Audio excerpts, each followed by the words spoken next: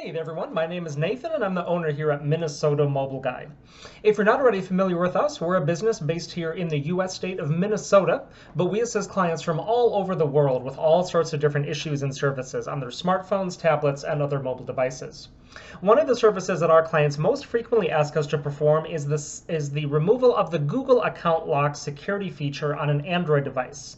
That's something that Google enabled back in Android 5, where when the device is factory reset without first removing the account that's on it, it's then going to ask for that account again as a security measure after the factory reset is done. And you can't get into the phone or the tablet to use it again until that uh, information is entered or the lock is taken off.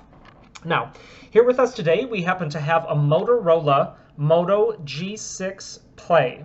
So this device is actually originally from Verizon here in the US, and this is one that does have the Google account lock enabled. As we can see here on the screen, as we're going through the setup wizard, we get to the screen that says that it was reset, and to continue, we need the specific Google account that was previously on the device. But we're making this video to let all of our customers know that we do offer a service to be able to bypass that lock on the device itself, and that is actually something where we've done 99% of the work already.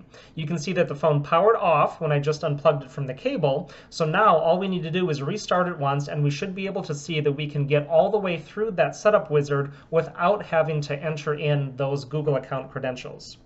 So we'll just give it a second here to let it load up and do all of its thing.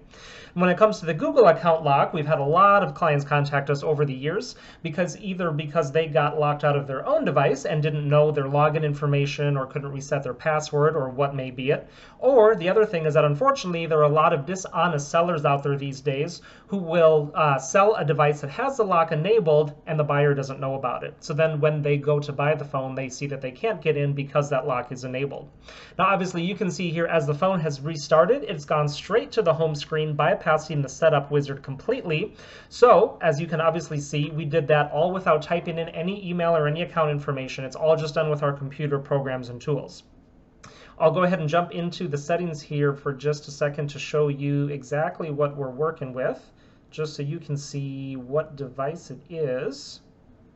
And okay, so in the About section here, we can see that we are indeed working with a G6 Play. Moto G6 Play is what they call this. And then if we go under hardware information, we'll be able to see the exact model number, although Motorola here has it listed as a SKU. But this specific device is the XT1922-6.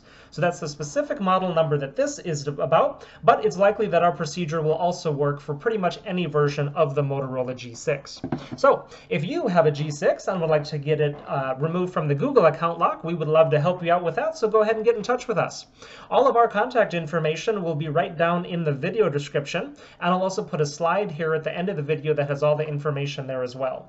Make sure to check out all the other videos that we have here on our channel as we offer a lot of different services for a lot of different devices, and I'm sure you'll find something there that could come in handy. Make sure to hit that subscribe button while you're there also to be notified of all the new videos that we're constantly putting up, just like this one. Y para todos los hispanohablantes, nosotros también hablamos español, así que ustedes nos pueden contactar sin duda. Thanks for watching, everyone, and have a great day.